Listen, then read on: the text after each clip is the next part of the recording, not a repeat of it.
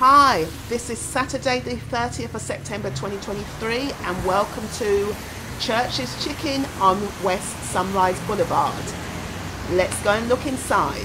Hi, welcome to Church's Chicken in Fort Lauderdale off of Sunrise Boulevard. You are at the home of chicken, and we have spicy chicken, we have tenders, we have original chicken, anything you want. This is not Little Caesars, but we're hot and ready.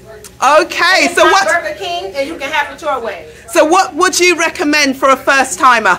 Well, for a first timer, I mean, our chicken is the number one in town. I mean, everyone stops by, so I would recommend that you try the two-piece beef. It comes with two pieces of chicken, dark meat, a leg and a thigh, from, and a jalapeno pepper. Okay. For only three forty-nine. That's not bad. And how do you compare to Popeyes? Popeyes, well, there's no comparing there because you can't compare where you can't compete. They can't compete where they can't compare. I So like our that. chicken is not as crunchy as theirs because we want to let you taste our chicken, our meat as well. Yeah. Popeyes, you kind of don't taste their meat. You just taste their crunchiness.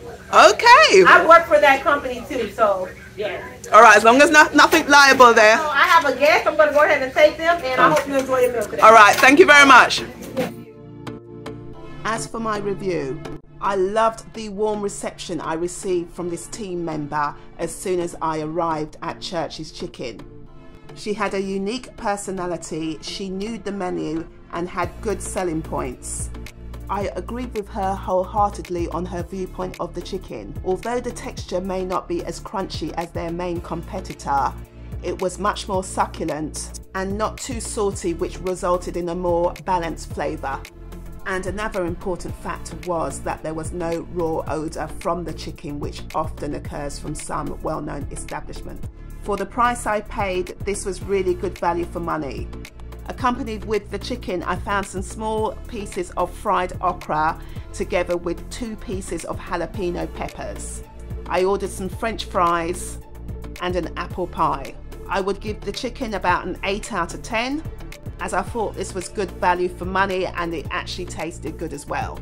I wasn't keen on the pastry of the apple pie so I would only give that maybe about a 3 or 4 out of 10. As you can see there's no issues with parking here.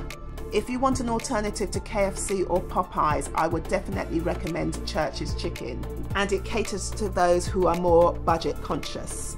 If you've enjoyed the video, please remember to hit that like button, share and subscribe. Thanks very much for watching.